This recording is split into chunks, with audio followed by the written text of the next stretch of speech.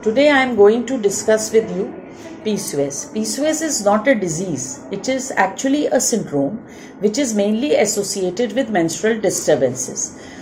The main criteria for us to diagnose PCOS, PCOS is to have menstrual irregularities in the form of mainly oligomenorrhea or oligomenorrhea or mainly amenorrhea, presence of huge volume ovaries on ultrasound and presence of skin changes in the form of acne, hirsutism and uh, acne, hirsutism and some patients also present with increased weight.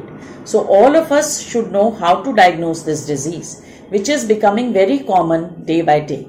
The main cause now it has been is that the patient is resistant to insulin as a result of which the patient suffers from hyperinsulinemia, which in turn causes the ovaries to uh, ovarian increase of androgen, leading to all the changes which a girl of PCOS has. This disease can be easily managed and controlled by changes in our lifestyle. Lifestyle becomes the main core of cornerstone of treatment of PCOS. First and foremost, we have to educate our young girls to manage their diet. Dietary habits play a very important role.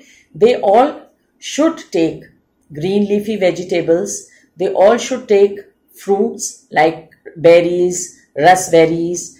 Then they should avoid all foods which are high in glycemic index.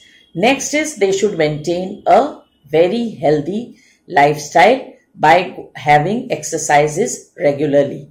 These could be in the form of cycling, jogging, swimming, running.